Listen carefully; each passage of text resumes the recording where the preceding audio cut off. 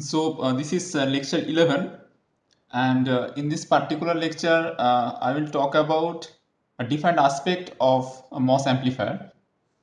Uh, in fact uh, over the last few lectures I have been talking about the different types of common source amplifier involving MOS devices. And in the entire discussion I have mainly focused on the expression of the voltage gain so it was something like that. So if I observe the amplifier like a black box,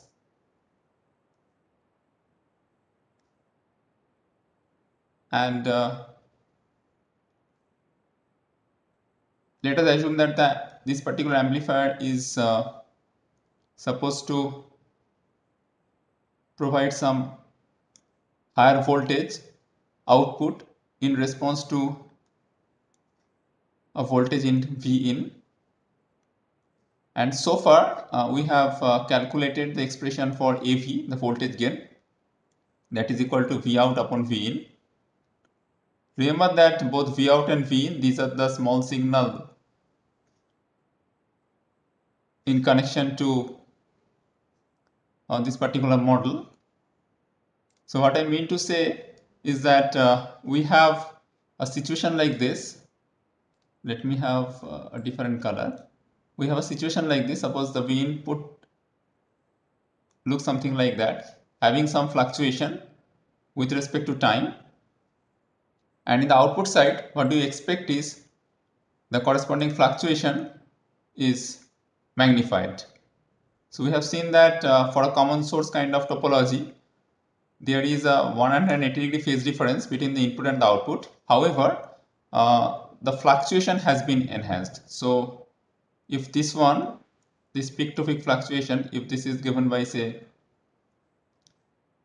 delta V or delta V2 and suppose this one is given by delta V1, this fluctuation over here is given by delta V1, then the expression for AV is nothing but delta V2 upon delta V1. So we are interested in magnifying the difference. However, uh, for a common source kind of topology, uh, we have already observed that there is a phase difference between the input and the output. So the, if the input signal is having a phase of 0 degree, uh, then the output signal will be having a phase of 180 degree. Okay. So this is one of the important aspects of any voltage amplifier. Uh, we would try to increase the voltage gain so that we can use it for different applications. And accordingly, uh, we have come across the different expression for the voltage gain. So to start with, uh, we have seen that uh, with a discrete resistance, the value of the voltage gain is given by minus Gm times RD. If I have a discrete resistor connected between the drain and the supply, then the expression of the voltage gain was something like that. And in the second attempt, what we have done is we have replaced this resistor by means of a current source load. So for that, we have obtained the small signal voltage gain something like that minus GM1 multiplied with R1 parallel R02 if I include the channel length modulation or the impact of the channel length modulation. Here also you can consider uh, this uh, can be written as uh, minus GM times RO parallel RD if I want to include the impact of channel length modulation. And in the third attempt, what we have done is uh, we have uh, considered, so in the third attempt, we have considered a diode connected load for which the expression was something like that minus gm1 and then we have the parallel combination of uh, three different resistance. One is 1 upon GM2. Then you have RO2. These two are coming from the load itself and obviously we will be having RO1.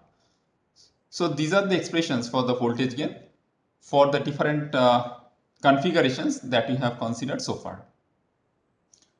Now, so far we have just neglected the notion of the input and the output impedance. And if you have studied the bipolar junction amplifier in the previous semester, uh, you have noticed that apart from the voltage gain or the current gain, the input and the output impedance, they are also playing some vital role in selecting the particular amplifier for your applications.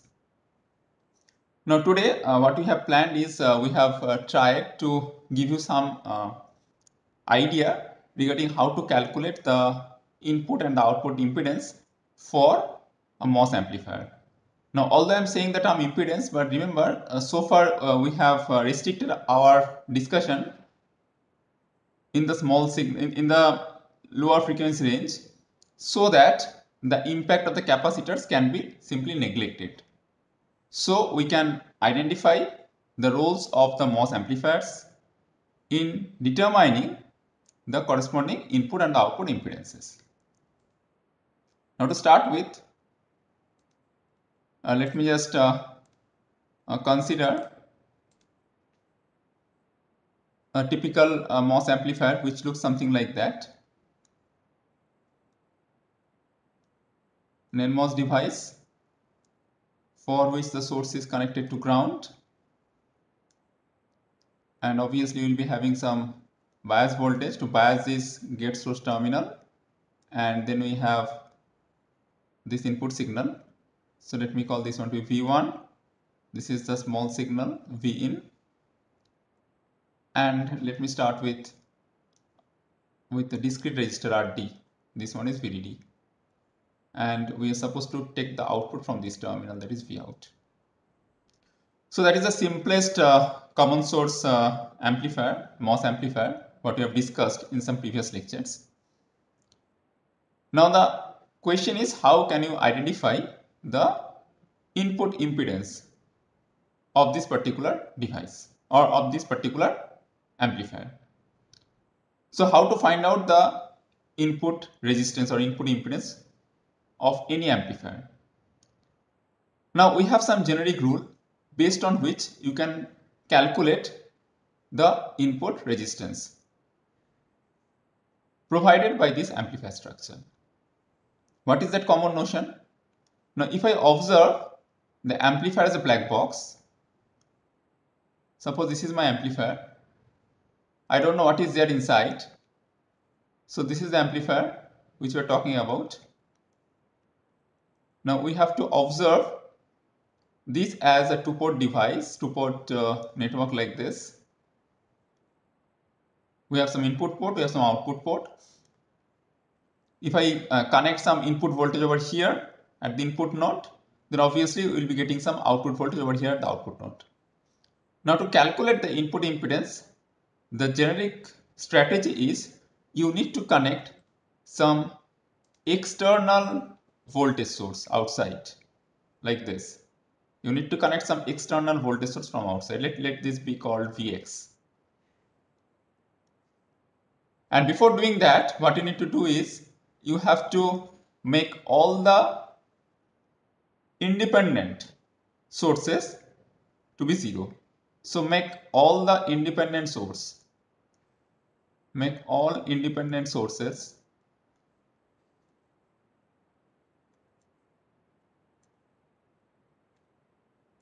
0. So what do you mean by the term 0? That means make them inactive. Make them inactive. So if I have some independent voltage source, if I have some independent voltage source, then this independent voltage source is being replaced by short circuit and if I have some independent current source then this independent current source will be replaced by the open circuit. That means their impact will be absent. And then you connect some external voltage source like Vx and you try to measure what is the current being drawn by the amplifier itself, let it be Ix. And then the input resistance Rin is nothing but the ratio of Vx upon Ix. That is the notion of calculating the input resistance for an amplifier. Now what will be the scenario for calculating the output resistance? What will be the generic structure? Now in order to calculate the output resistance of any amplifier, what we normally do is we do the reverse action. That means in order to calculate the input resistance, we have connected some signal at the input node and we have calculated whatever the current being drawn by this particular amplifier circuit. Now in order to calculate the output resistance for any amplifier, the generic notion is that once again you have to identify the two nodes. I mean, if I want to observe the amplifier as a two port network, so this is my input port, this one is the output port. And once again, you have to do this. That means make all the independent sources make all independent sources 0 that means inactive and then what you need to do is you have to connect some voltage source the output node like this let it be Vx and let the current being drawn by the amplifier is given by Ix. Now this time what I have done is I have connected this voltage source, the test voltage at the output port, not in the input port. And once again you measure the current, what is the current being drawn by the amplifier circuit. And then the ratio of these two is nothing but the output resistance Vx upon Ix. So this is the common strategy that you have to follow every time you need to calculate the input and the output resistance of any amplifier circuit. Now with this basic understanding, let us uh, move to the first amplifier circuit that we have uh, shown in this particular slide. Now let me go to the next slide. So uh, the circuit is something like that.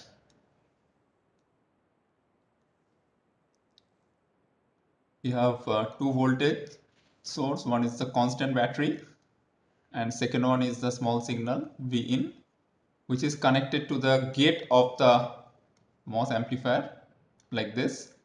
Source is connected to ground, hard ground, DC ground and you have a resistance like this and this one is a supply, power supply, VDD and you're supposed to take the output from this terminal. Now the calculation of the input resistance is very simple for this particular case. Now while calculating the input resistance, one, once again you have to do one thing.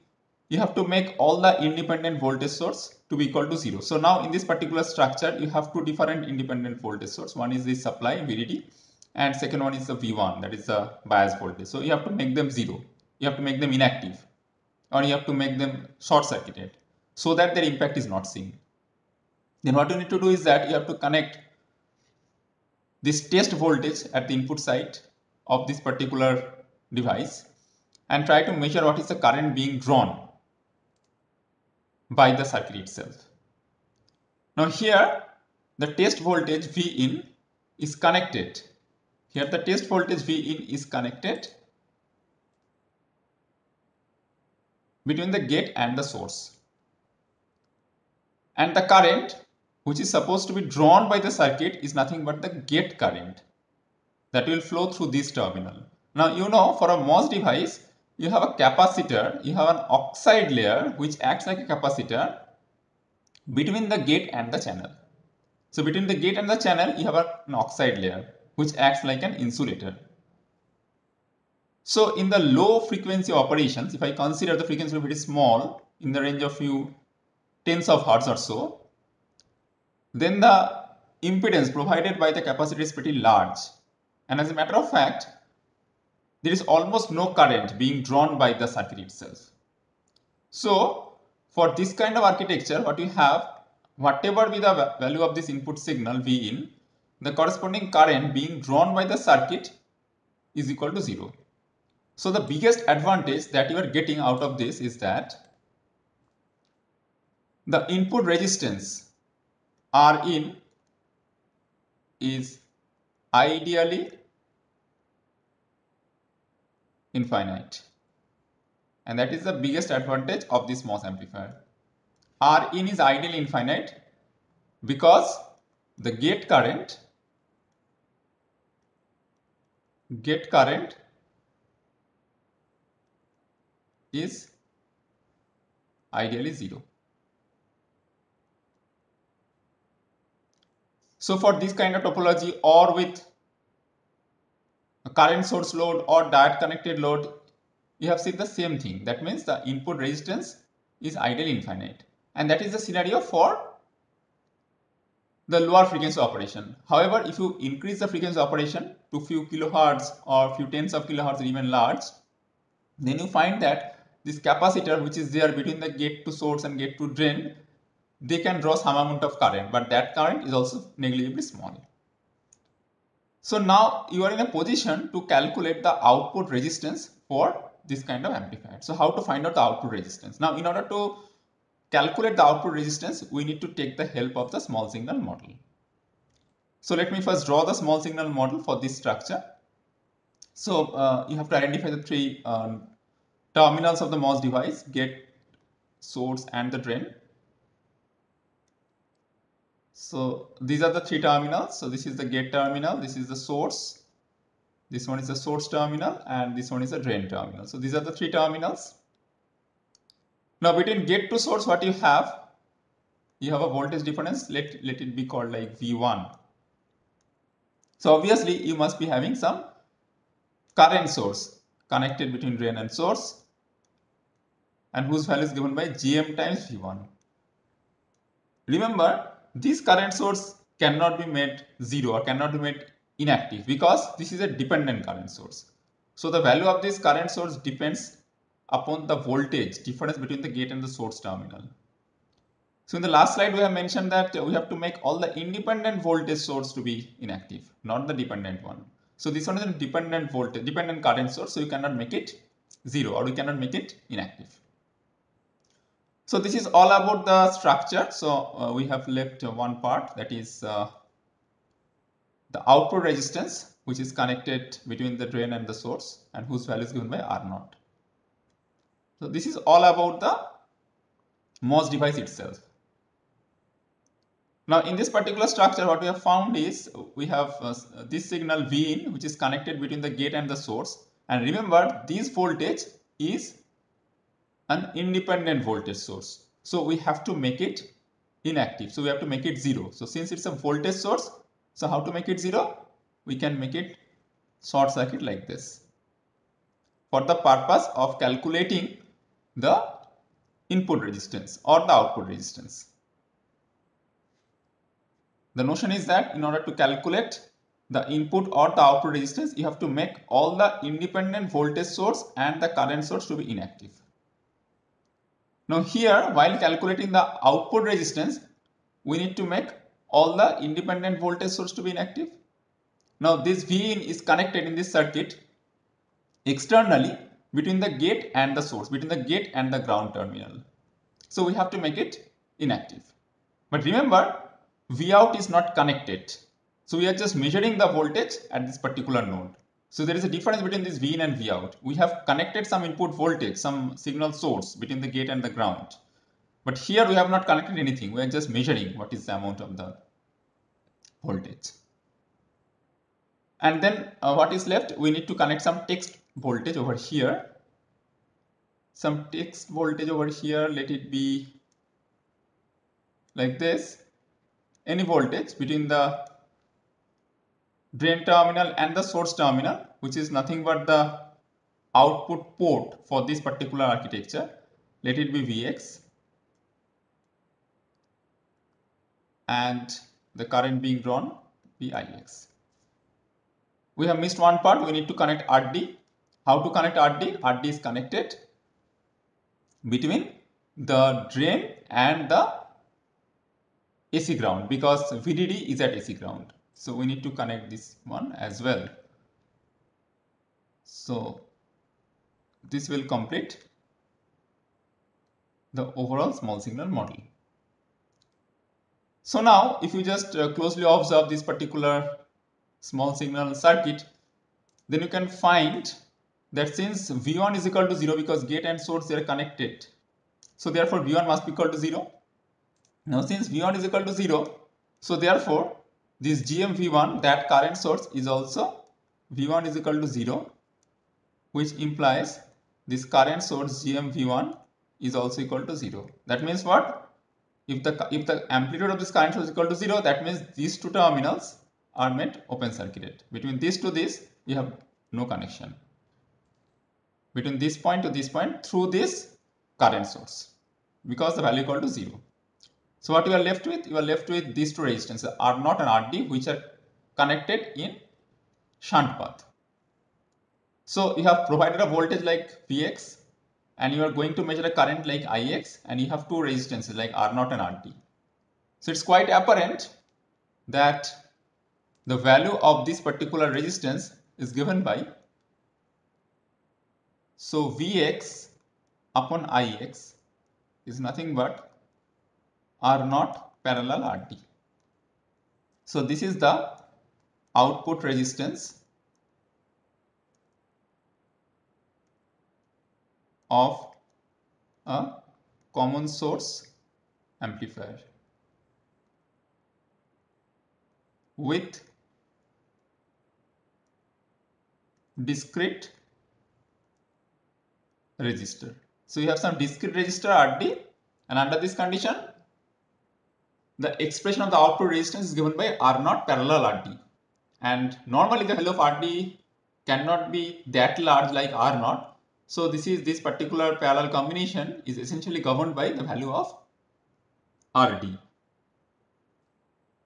So now if we uh, move on to the uh, next uh, circuit uh, in which case we have connected one PMOS current source as a load and we have found that uh, the expression of the voltage gain uh, can be enhanced to certain extent because that time you have GM times R1 parallel R02 so that the voltage gain can be enhanced to certain extent.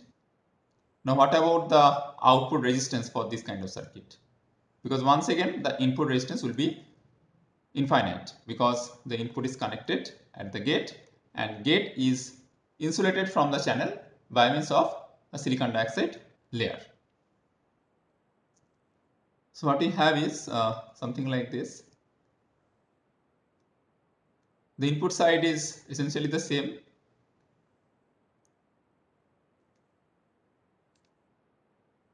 So this one is essentially the same. You have uh, V1 like this.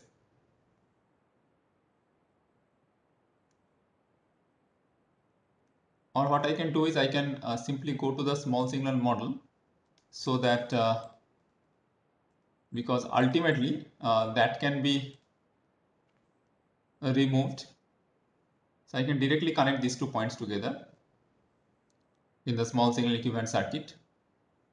And what we have is we have a PMOS device used as a load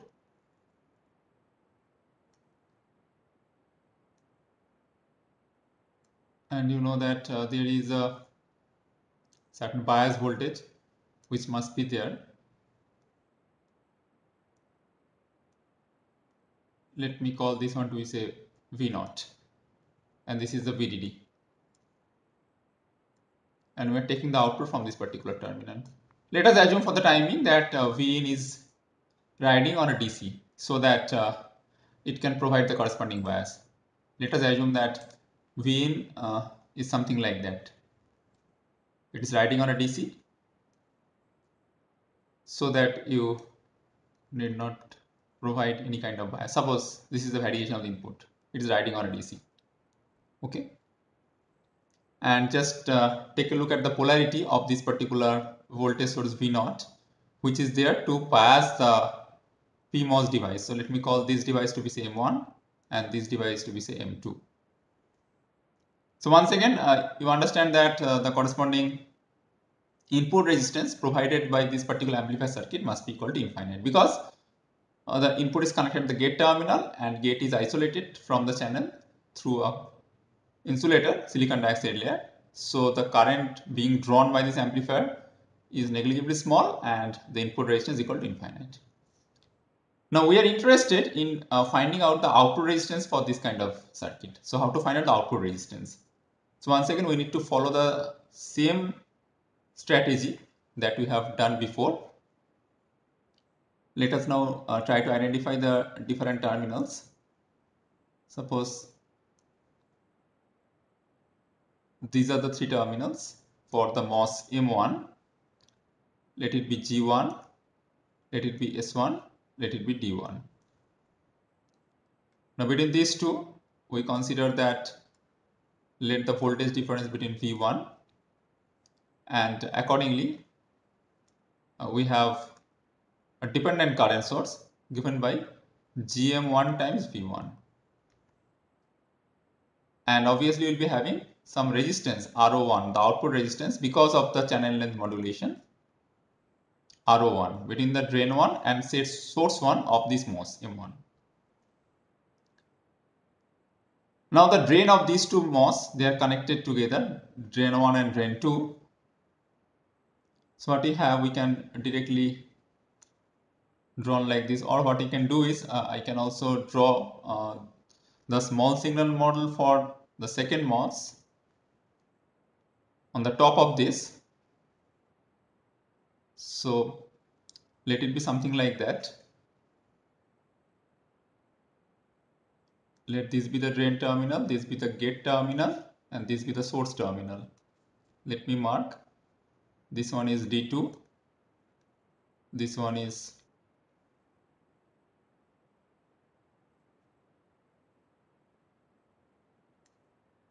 S2 and this one is G2. okay so as you know for this particular MOS M2 what we have in the small signal model gate and the source they are having a same potential same DC potential. Uh, sorry uh, the difference is V naught. So for the second MOS M2 what we have Vg2 minus, uh, let me just uh, mark it over here. For this particular MOS, second MOS, the source is at a higher potential with respect to the gate. So Vs2 minus Vg2 that is equal to V0.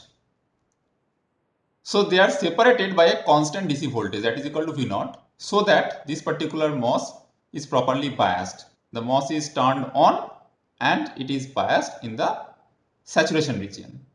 However, if you just uh, find out this difference every time you will find that the difference between the source 2 and the gate 2 remaining same.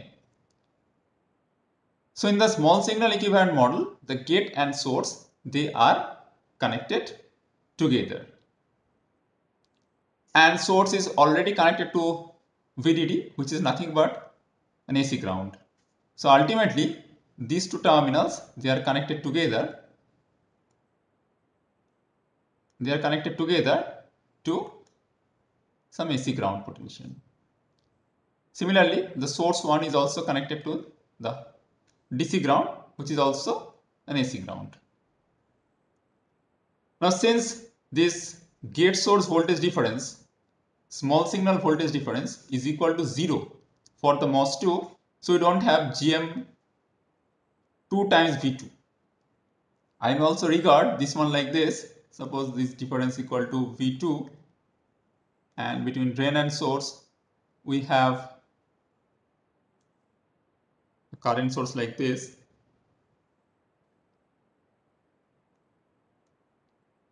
GM2 times V2 but the value of it is equal to 0. What else? We have another resistance RO2 which is connected between drain 2 and the source 2. So this one is RO2. And moreover, these drain 1 and drain 2, they are connected together. So we have a connection like this. And another part is left. We need to make this particular voltage to be inactive because this is an independent voltage source. So I need to make it inactive. Now we are making this voltage inactive only for the calculation of the output resistance, otherwise not.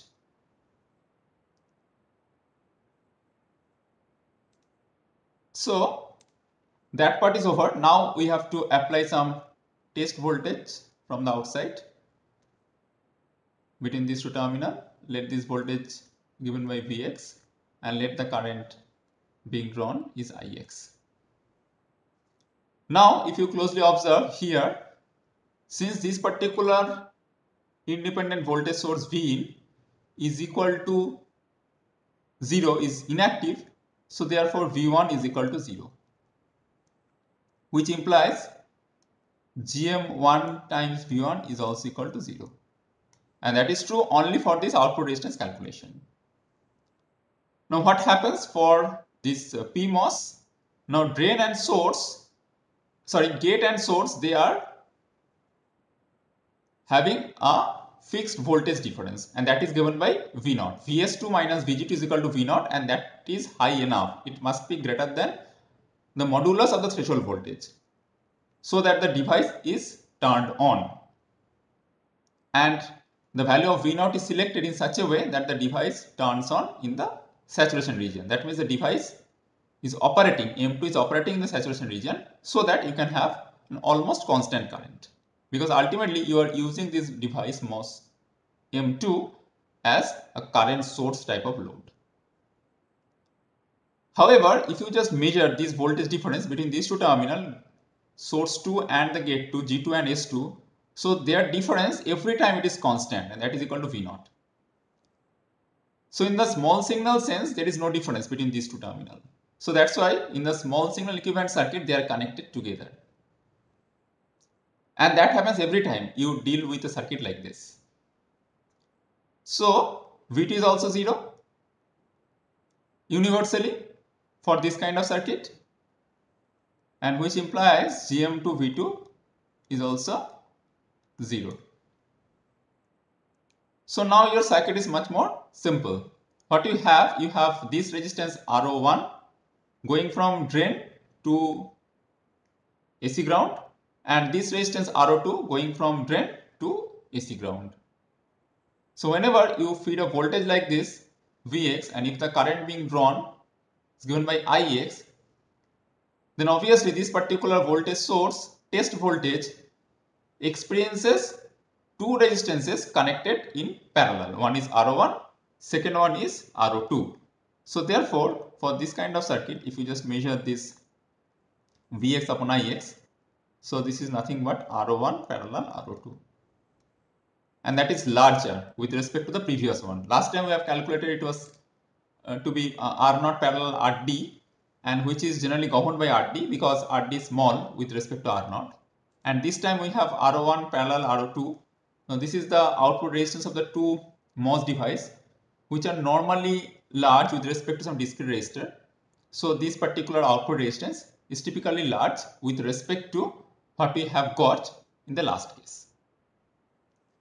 So that is the condition or that is the expression for the output resistance for a common source amplifier with a current source load. And in the last lecture, uh, we have also considered a third type amplifier in which case we have considered a diode connected load. So let me just uh, show you the, once again show you the circuit diagram for this kind of uh, topology. In which case you have two NMOS lower one is acting as an amplifying device and the upper one is acting as a load. And gate and drain of this device. They are connected together. And we are providing input signal between the gate and the source of the first MOS, the amplifying MOS. And this MOS M2 is acting as a load, a diode connected load. So once again you understand that the input resistance in is going to be infinity because uh, input is applied at the gate and gate is isolated, electrically isolated from the channel region. So the next question is how to find out the corresponding output resistance. So we do the same thing. We have to once again carry out the same exercise that we have done before. Now before doing this uh, exercise, uh, once again, uh, let me just uh, show you uh, this particular device, the upper MOS, NMOS in isolation. Basically, we have a situation like this. A diode connected load, gate and drain of these two of this particular MOS, they are connected together and you have a situation like this. Then ultimately this MOS M2, although it's a three terminal device, but since the gate and drain, they are connected together, so ultimately it reduces to be a two terminal device. And in the last class, we have already calculated the resistance provided by this kind of circuit, this kind of device, for which the gate terminal and the drain terminal, they are connected together. So this is nothing but, so this is equivalent to of having a resistance between these two nodes whose value is nothing but whose value so equivalently it works like a resistor for which the value of R is given by 1 upon GM2 in parallel with RO2. So equivalently, instead of having uh, this particular combination on the top of this device M1, what I can do is I can simply put this resistor. That will help me in calculating the output resistance of this particular structure. However, uh, we need to draw the other parts and that is quite obvious. This one is the gate, gate 1, source 1 and drain 1. Let this difference be V1 and uh, between drain and source you have dependent current source gm times v1 and you have ro1 like this. Now as you can understand between these two terminal between this point and this point you have this resistance whose value is given by r or let me write like R dash. Now R dash is connected between this drain 1 and this drain 2. Now the drain 2 is connected to VDD and VDD signifies AC ground in the small signal equivalent circuit and S1 is already at AC ground. So equivalently what I can do is I can connect this resistance R dash between D1 and S1 in fact, that terminal is given by, uh, let me mark, that terminal is given by S1, D1 and S1 they are connected together, sorry, uh, this should be S2, this should be S2, D1 and S2 they are at the same potential. And S1 and D2 they are also at same potential and that value is given by r dashed. And I need to make this independent voltage source to be inactive, which is connected between the gate and the source like this. So that arrangement is over. Now what I can do is I have to connect some test voltage from the outside like this whose value is given by say Vx and let the current being drawn by them is Ix. So once again uh, we find that V1 is equal to 0 which simplifies like this GM V1 is inactive open circuit. So then once again you have two different resistances RO1 and R dash as seen by this particular test voltage Vx. So if you just calculate the ratio of these two Vx upon Ix, that turns out to be RO1 parallel R dashed and that is equal to 1 upon Gm2 parallel RO1 in parallel with RO2. Now you have the parallel combination of three resistors 1 upon Gm2, RO1 and RO2.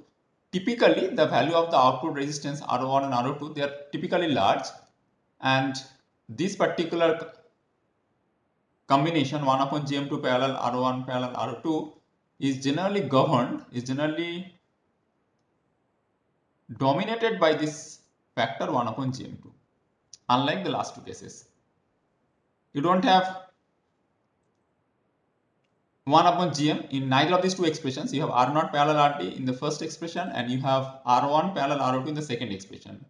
So you don't have 1 upon gm2 in either of these two expressions. Now since we have 1 upon gm2 uh, in these particular expressions as one of the important parameter in the output resistance. So the output resistance is given by 1 upon gm2 parallel R1 parallel R2 and for an approximate calculation uh, you can make this one to be approximated to be 1 upon gm2 because this is the lowest value out of these three. So with this uh, I would like to uh, end uh, my today's discussion on calculating the input and the output resistance of a common source amplifier.